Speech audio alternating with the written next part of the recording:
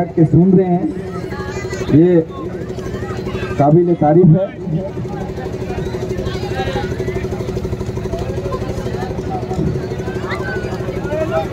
तो अभी आप माला और ये हमारे जो झारखंडी प्राकृतिक रूप से जो है, उसको पहना करके ताज पहना करके स्वागत करेंगे देवेंद्र महतो जी का।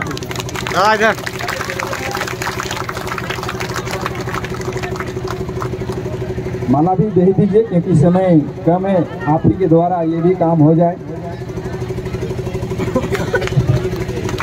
और संजय दा को भी पहना दीजिए। वो खाली खाली दिख रहे हैं वो। और अभी हमारे से योगेश बाबू हैं। योगेश भारती। उनको भी ये माला को पहना दीजिए। हाँ तो अभी आज दिन आज के दिन भारत के प्रथम राष्ट्रपति, भारत के प्रथम राष्ट्रपति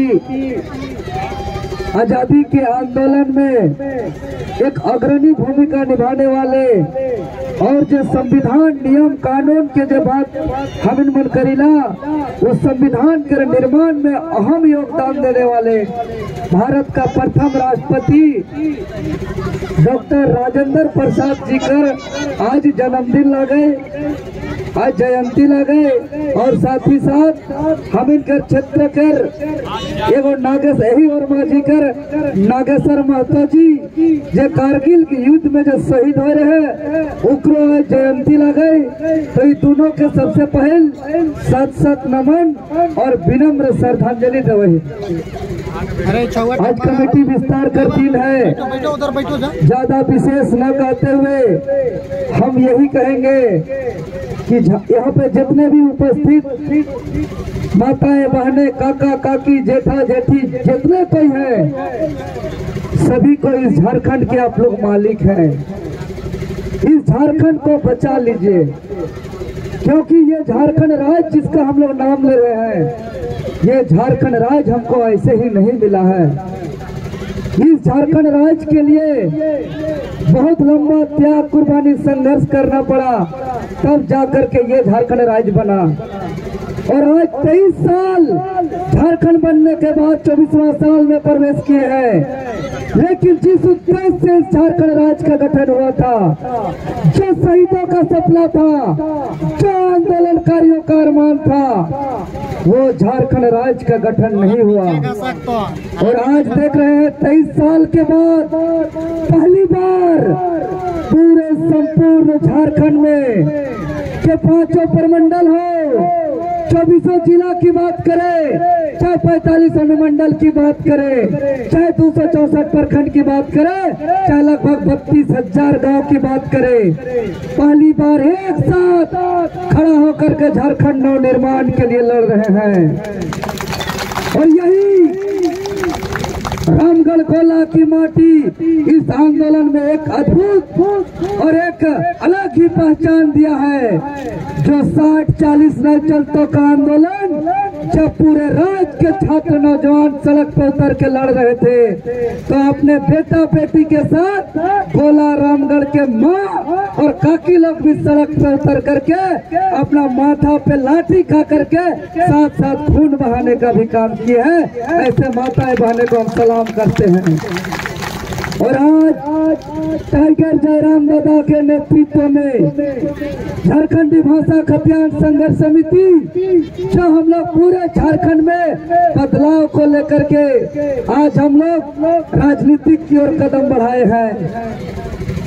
पॉलिटिक्स पॉलिटिक्स की ओर कदम बढ़ाए हैं। यह कदम हम लोग खुशी से नहीं बढ़ाए हैं। यह कदम हम लोग मजबूरी में बढ़ाए हैं।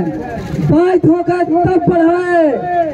क्योंकि शुरुआत में हम लोगों ने बार बार हेमंत सोरेन जी को मुख्यमंत्री जिला में वार्ड में जिला परिषद में राज्य सभा में लोकसभा में उसको जहाँ मिलता है जगह वहाँ धकलिए और उन, उनको वोट दीजिए जो शिक्षित एम टेक और बी टेक और जो पीएचडी किया हुआ है मास्टर डिग्री किया हुआ है, आप उसको वोट दीजिए। ना कि अनपढ़ विधायक मंत्री को दीजिएगा। अरे, यहाँ के विधायक मंत्री का कुछ नहीं आता है। आपको बता रहे हैं ऐलान ऐलान करता है, बता रहे धनिया बोलने कहता है वहाँ जनिया बोल देता है, ऐसा ऐसा विधायक और मंत्री है। और आप उसको वोट देते हैं। ये शर्म की बात है कि आप उनको भेजकर, और भेज रहे हैं विधानसभा, जब आप कोई अगर गाँव में देखते होंगे कि अगर विकलांग व्यक्ति या बूढ़ा माँ बाप है, अगर वो बुढ़ा गया वोट का दिन आ गया है तो उसको क्या करते हैं? टांग कर और मोटरसाइकिल से जैसे तैसे कोरा करके वोट दिलाता है। अगर उसको इंदिरा आवास या पेंशन की अगर बात रही, अगर आधार कार्ड सुधारने की बात रही तो वो जो है नहीं सुधारने आएगा आपको दलाल। इसलिए जो भी दलाल आता है, अगर जो भी मोटा भाई आता है, जो भी अशिक्षित विधायक मंत्री आपके पास आता है वोट माँगता है, आपका पैर छूकर छू कर मांगेगा, आपका सूद कर मांगेगा, क्योंकि आप 100 500 रुपए में वोट बेचते हैं, जब वो विधायक मंत्री बन जाता है तो आपका पेट से 500 या 1000 खींच कर पैसा ले लेता है। आप बोले, कैसे? जब इंदिरा आवास आपके पास होता है तो दस हज़ार पहले पैसा लेता है। जब आपका बाथरूम बनता है, उस समय पाँच सौ, तीन सौ, एक हज़ार पैसा लेता है। तो कहीं ना कहीं आपको लूट रहा है विधायक मंत्री लोग। इसलिए भी दीजिए शिक्षित नौजुवक बेरोजगार युवक को दीजिए। अभी आप लोग खेत खलिहान में काम कर रहे हैं। आलू बेचकर, प्याज बेचकर अपना बेटा को जो बाहर में पड़ता होगा, उसको देते होंगे।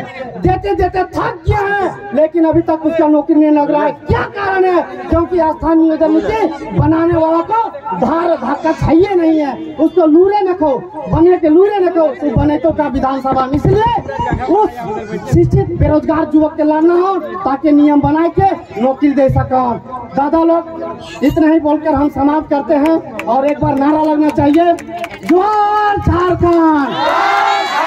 जय जय झारखंड। जय जय झारखंड। साठ चालीस नहीं चलते।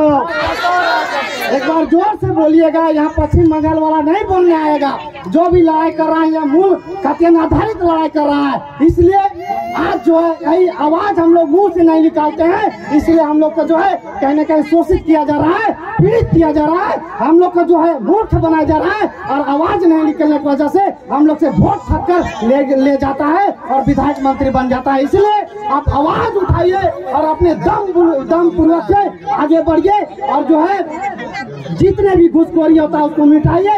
घुसखोरी की मिटाइए। अपना जो बाल बच्चा को पढ़कर जो पढ़ाकर, जो अनपढ़ गवार जैसे आप घुमाते हैं, ऐसा मत कीजिए। उसको जगह में लाइए। आवाज़ उठाने के बोलिए। अगर आप नहीं मुँह खोल दिएगा तो समझिए हम लोग को ऐसे ही तरह तोलिया लुंगी पहनाकर मार भात मार भात किया कर हम लोग कैसे घुमाया जाएगा? इसलिए हम लोग मार भात खाटा खाने के लिए पैदा नहीं हुए हैं। कभी आप सोचे?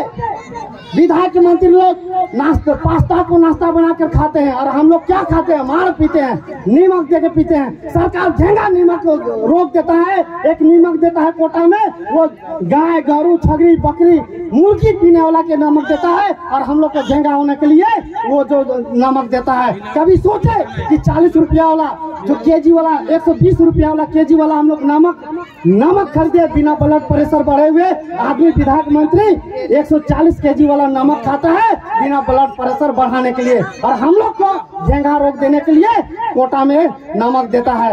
ये चीज़ कम से कम जागिए, उठिए और जब तक लड़िए, जब तक आपका अधिकार नहीं मिल जा, मिल जाता है। अंतिम बार यही चीज़ बोलना चाहते हैं read in fact always support the truth not wrong यानी कि पढ़ो, इन लड़ो और साथ हम हरदम उसको दो, जो सही साथ देता है। इसलिए आप आवाज़ उठाइए हरदम आगे आइए। अन्यथा हम लोग को बर्बाद होने से कोई नहीं बचाएगा, कोई नहीं बचाएगा। अंतिम बार बोलना चाह रहे हैं कि अगर कोई भी विधायक मंत्री आपके बीच में आता है वोट देने के लिए, एक ही शब्द बोलिएगा कि आपको एक यूनिट खून दे देंगे, लेकिन वोट 2024 में टाइगर जयराम महतो को देंगे।